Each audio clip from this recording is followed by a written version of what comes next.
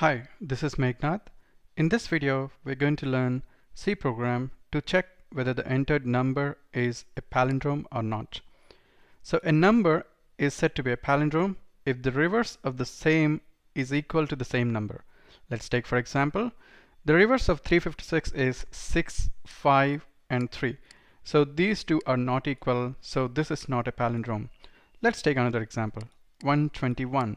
So if you reverse this 121, you'll again get 121. So this is said to be a palindrome. So now we are going to write logic or C program to check whether the entered number is a palindrome or not, right? So the logic will remain same as mostly the previous program that we learned, uh, program 16, where we saw to print reverse of a given number.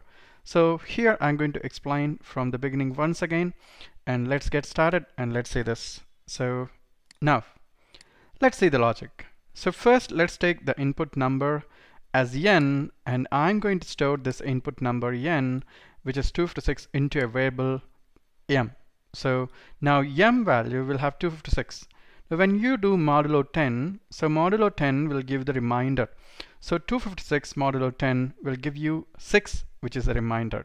Now after that, once I get the last value, I don't need this anymore. So to remove this, I'm going to use 256 by 10, which is equal to 25. Since these two are integers, so 256 divided by 10 will round off to 25. Now, this we will take it as m value. So we need to get individual digits. That's our first initial target. Now, once I get 25, so I will continue this process once again. Now, now, if you see here, so this is a reverse and reverse I initialize to 0. I'm multiplying with 10 plus this reminder. So I will show this logic once again. So reverse I initialize to 0 into 10 plus this reminder so I get 6. I'll tell you why I'm doing this. Now let's see the next step by taking 25. Now 25 will be the m value.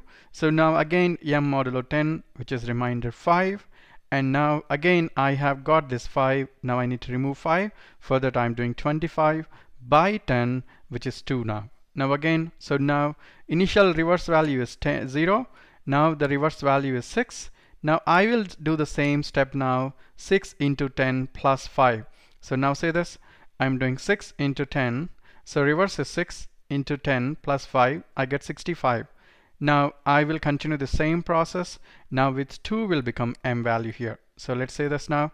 So now this is the last process. So m is equal to 2 and modulo 10. So 2 modulo 10 we get 2 and again we divide 2 with 10 so that becomes 0. So that's it. We can stop here and let's see how reverse will work. So now reverse value is 65 previously. Now 65 into 10 plus this remainder 2 and that becomes 652. Now you can notice one thing that the value of m is 256 and the value of reverse is 652. So we can stop here because the value of m now reached zero so you don't have to continue next step. So I'm going to explain the same process that we have seen here in the presentation in the code and we'll try to understand it more clearly. So as always you can write the code that I'm going to write now Either you can do it in Turbos editor, Dev C++ editor, or Visual Studio Community Edition, or any other editor like CodeLite, or any other editor you can write it. Now let's get started, and let's see this. The first step is include stdio.h, and then include conio.h void and here I used to write here author that's my name Meganadha and then I'm going to put my email ID for your suggestions and feedback. So and then purpose of this program is the purpose of this program is to read a number and check if it is palindrome or not right? Now let's start with the program. So void main is the place where program execution starts and I always used to write here. The first thing is variable declaration and the next one is read uh, data from user and the actual logic. Now let's say this. Variable declaration. So we need to know what are the variables that we need. First int n value. That's the value that we read from the user. M value for taking the backup.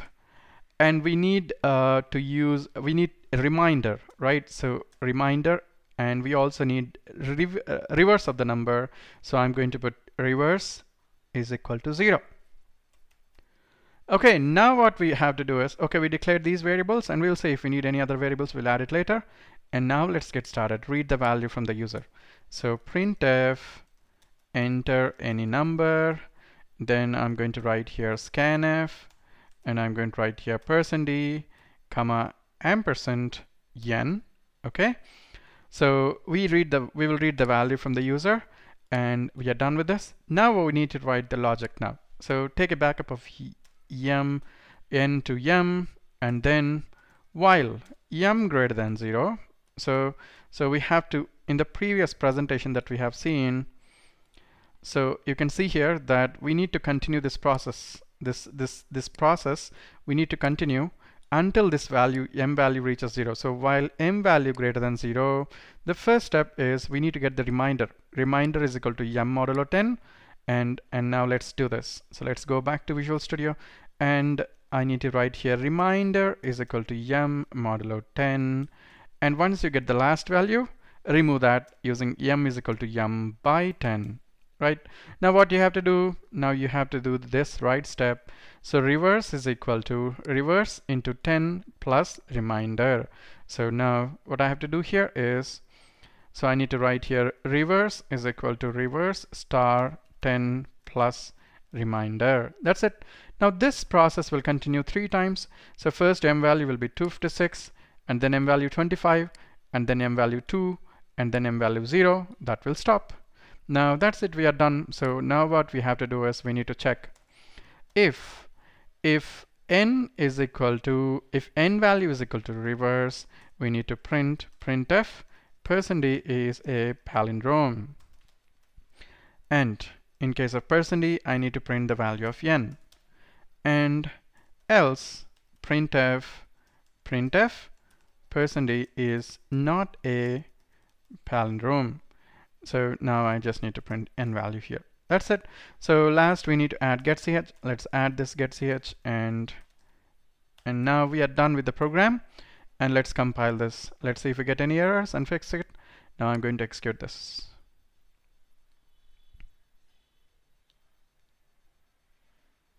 Now you can see here it's asking me to enter the number and let's take 356 which is not a palindrome. So 356 is not a palindrome. So let's run this once again. And this time I'm going to enter a palindrome 1331. So this is a palindrome. Now you can see here it's a palindrome. So the logic is working fine. And I hope you are clear with this explanation and feel free to add your comments in the comment section and do remember to subscribe for more videos thanks for watching and do share with your friends as well thank you and have a great day